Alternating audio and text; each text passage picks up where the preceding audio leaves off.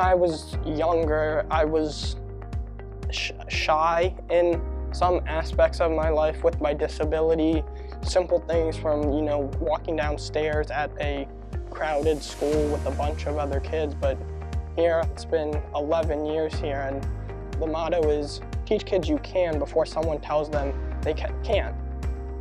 One of my goals is to make the United States uh, para men's national team for soccer, but in addition, uh, I play wheelchair basketball with Bennett, and that has been a sport that has grown uh, at the college level recently, and I think that might be something I could do down the road as well. So, my message to young kids is you can do it. You know, believe to achieve. If you want to do something, if you work for it, you're going to get what you work for and what you put in the effort for.